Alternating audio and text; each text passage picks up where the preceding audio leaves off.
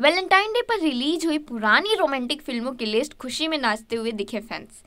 रणवीर कपूर और दीपिका पदुकोण की 2013 में आई ये जवानी है दीवानी ने पिछले कुछ सालों में एक पंथ का दर्जा हासिल किया है। इसी बात को ध्यान में रखते हुए इस फ़िल्म को वैलेंटाइन डे वीक पर पीवीआर आइनॉक्स द्वारा दोबारा रिलीज़ किया गया है।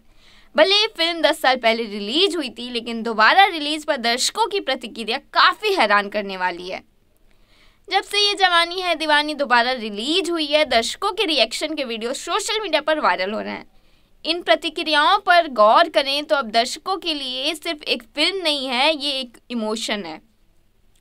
लॉकडाउन के बाद सिनेमा पूरी तरह से अनुभव और समुदाय को देखने पर केंद्रित हो गया है। जिन फ़िल्मों ने दर्शकों के लिए काम किया है, वे सभी उम्मीदों से बढ़कर रही हैं और जो फ़िल्में दर्शकों को उत्साहित करने में कामयाब नहीं रही हैं, वे बुरी तरह असफल भी रही हैं।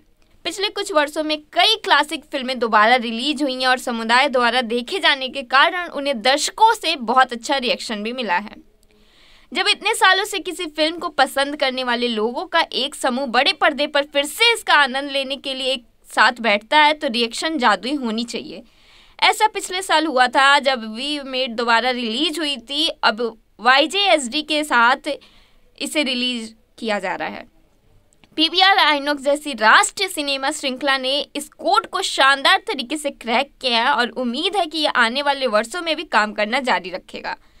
सिर्फ़ वाई जे एस डी ही नहीं, बल्कि वैलेंटाइन डे वीक मनाने के लिए पूरे भारत में पीबीआर आइनॉक्स द्वारा कुल 22 फ़ेमस रोमांटिक फ़िल्में फिर से रिलीज़ की गई हैं। इस लिस्ट में जब वी मेट दिलवाले दुल्हनिया ले जाएँगे, वीर जारा, मोहब्बतें, सोनू के टीटू की स्वीटी तू झूठी, मैं मक्कार, प्यार का पंचनामा एक और दो और दे दे प्यार जैसी फ़िल्में शामिल हैं। इसके साथ ही क्षेत्रीय फ़िल्में भी दोबारा रिलीज़ हुई हैं, जिसमें दिल दिया गल्ला, किस्मत और अंग्रेज़ जैसी पंजाबी फ़िल्में शामिल हैं।